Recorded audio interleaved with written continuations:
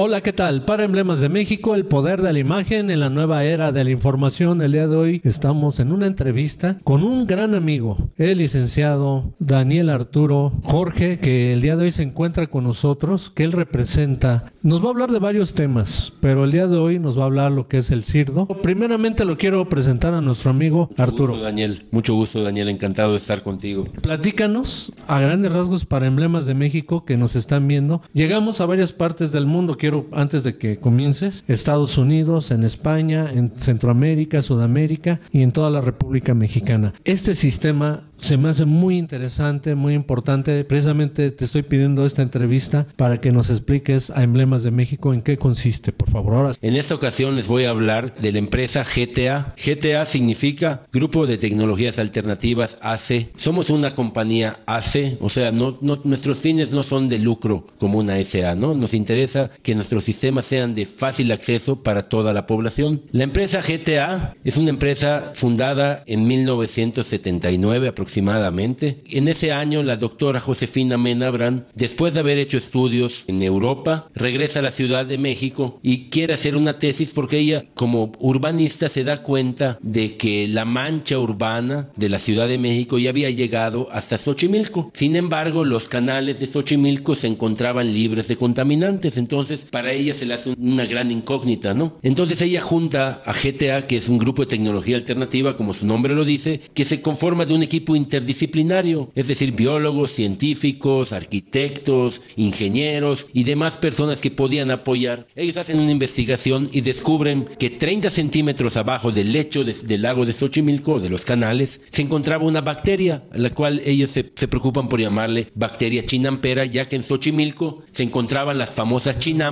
que eran el medio de cultivo que utilizaban los antiguos mexicas. En las chinampas, por medio de los lodos sanitarios, los mexicas lo utilizaban como una forma o un método de cultivo. Sin embargo, en esta ocasión, lo que hace GTA es sintetizar la bacteria, sacarla del ambiente y crear nuevos ambientes para que la bacteria sobreviva. Entre los diferentes ambientes que tenemos está un compostero, que es un lugar donde podemos tirar todos nuestros desechos orgánicos y la bacteria se los come en fresco. Es decir, tú vas, estás cocinando en tu cocina y tu cáscara del huevo, terminas de cortar la sandía, el melón y todo lo que te vas a comer y nosotros te pedimos que nada más sigas picándolo. Picas también las cáscaras y vas a también poder tirar allá los desechos del pollo, sean huesos, sean pellejos y de cualquier desecho de tipo orgánico. Conocemos como desechos orgánicos, pues todos los que la naturaleza nos provee, desde cadáveres hasta cáscaras de plantas, hojas que caen de los árboles, todo tipo de desecho orgánico, los tiramos en, en estos basureros. En mi caso particular, yo tengo seis perros en mi casa y todos los desechos de los perros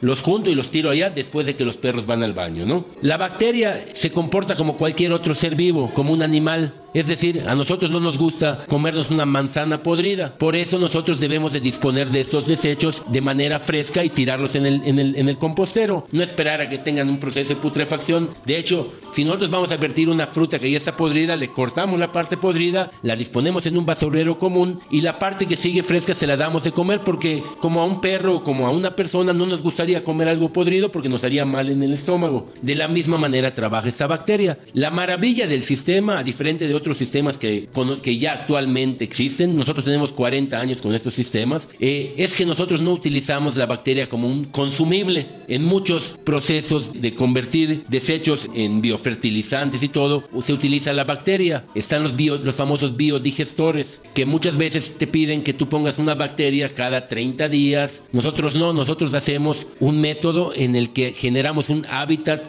para que la bacteria viva. Es decir, nuestra bacteria, si lo quisieran ver así, ahora les cuento, podemos intervenir desde la basura que generamos en nuestra propia cocina hasta las aguas resultantes del uso de una casa doméstica. Es decir, existen aguas negras que son las resultantes de desechos fecales, de orín, y existen las aguas grises que son las aguas que simplemente usamos para lavar trastes, para lavarnos las manos o para bañarnos. En realidad son sistemas maravillosos porque nos ayudan a contribuir del lugar en donde vivimos. Nosotros tenemos aquí una empresa que se llama Tierra Bonita, que se encarga de, en varios lugares donde ya tenemos los composteros, ellos van, sacan el resultante, lo envasan en estas bolsas y lo ponen a la disposición a la venta. Una bolsa así, que trae 4 litros o 2 kilos, tiene un precio de 120 pesos en el mercado. Realmente es una manera en que tus sistemas se pagan solos, porque imagínate que lo que tú comúnmente tiras a la basura y se lo lleva el sistema sanitario de la ciudad, tú lo contienes en tu casa y ya sea que tú lo utilices para tus propias plantas o lo dispongas para una empresa que se encargue de recogerlas y darte un, un cambio.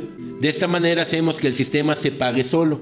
Miren aquí vamos a tocar un poco de la tierra que se genera la tierra, si lo quieres leer aquí, se denomina biofertilizante de alto impacto. Es macro y micronutrientes, minerales, hormonas para las plantas y carbono orgánico, 40 al 60% que se obtienen de un proceso de transformación de desechos orgánicos a base de energía solar y bacterias. Aquí están vienen las instrucciones. Para tres procesos. Para tres procesos. Plantas, si quieres sembrar o quieres... O abonar. Son tres procesos. Prácticamente les voy a mostrar, ¿no? Esto yo no lo podría hacer en un basurero de una casa común porque estaría podrido todo y me estaría yo ensuciando las manos. Sin embargo, acá, como pueden ver, el resultante es una tierra muy limpia, que no tiene ningún olor, ni es desagradable, ni mancha.